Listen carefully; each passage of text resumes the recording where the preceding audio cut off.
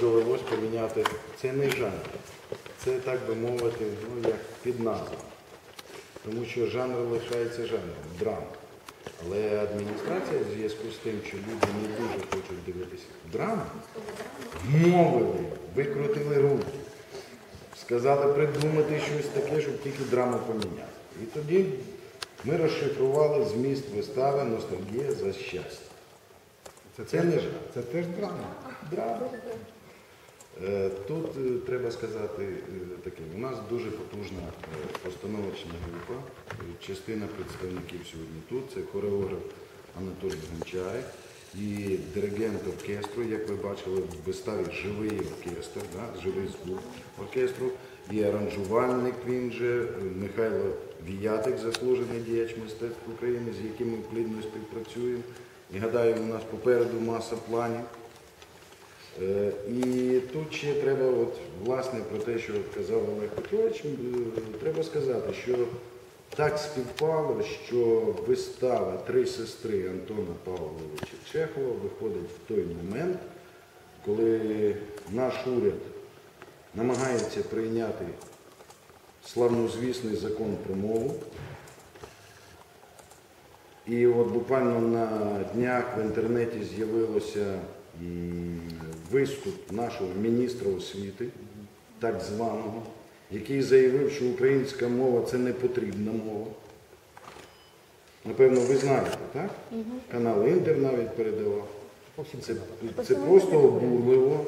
Е, Не знаю, в інших країнах, напевно, президент би прийняв зразу кардинальне рішення такого міністра звільнив би з уряду, бо він принижує не просто меншину, да, якусь національну, а цілу країну принижує. Це неприпустимо. І в цей момент Тернопільський театр, як не дивно, ми про це ніколи не думали, але так співпало. Ми показуємо приклад відношення до російського автора, до російської мови, до російської культури, граючи виставу рідною українською державною мовою, з повагою відносячись до наших сусідів. По-моєму, в цьому є е, навіть не такий несподіваний політичний момент, як приклад для наших можновладців. Ми їм даємо достойну відповідь. Це перше. Друге. Е, Є е, драматурги, поети, письменники одного села, одного району, одного міста. А є е, автори, які належать всім поза кордонами, поза межами одної держави. Такий автор, як Антон Павлович Чехов.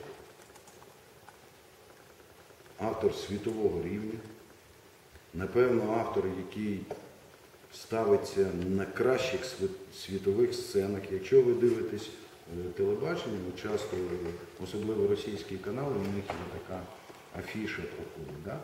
Світові прем'єри, світові вистави, виставки там, і так далі. То практично кожного дня по світу в найкращих театрах іде Чехов. Чи то дядя Ваня, чи то вишневий сад, чи то три сестри і так далі. В нашому театрі за всю історію Чехов не був поставлений. Ну, по-перше, це не був поставлений Чехов. Не було. Не Не було. було, не Це було. були Вінниця гастролі. Так. Не було в В нашому реперту- в репертуарі нашого театру Чехова не Я було. 68 року не було. Це неймовірно складно в акторському виконанні. Це неймовірно складно в акторській школі подачі такого матеріалу. І, напевно, кожен актор в глибині душі мислить, бажає, прагне хоч раз в житті доторкнутися до такого автора, попрацювати в такій драматургії. Ми брали це, так би мовити, щоб е, намаганням опанувати такого автора, підтягти себе за волосся до найвищих щаблів драматургії світової, тому що е, актор, який зіграє в Чехові, він вже навіть іншу драматургію буде грати в іншій якості. Тому що тут вся е, професійна акторська техніка, вся акторська школа, всі набутки мають значення.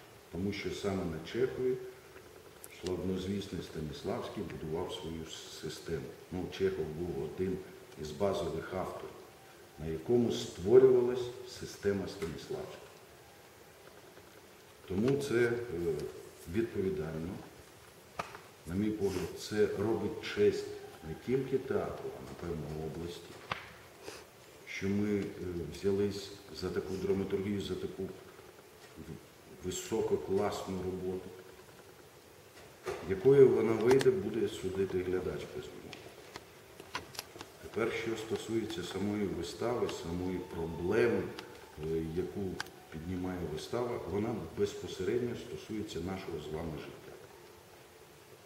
Особливо стосується е, нашого приватного життя, в першу чергу, напевно, інтелігенції.